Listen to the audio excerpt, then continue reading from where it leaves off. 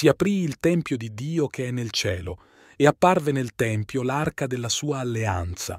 Un segno grandioso apparve nel cielo, una donna vestita di sole, con la luna sotto i suoi piedi e, sul capo, una corona di dodici stelle.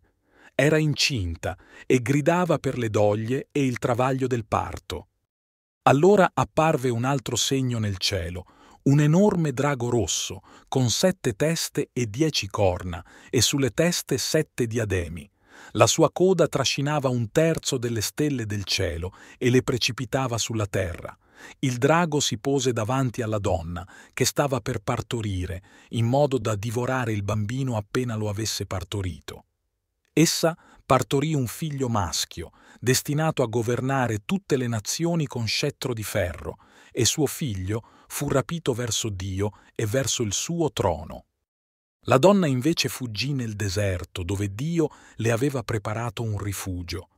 Allora udii una voce potente nel cielo che diceva Ora si è compiuta la salvezza, la forza e il regno del nostro Dio e la potenza del suo Cristo.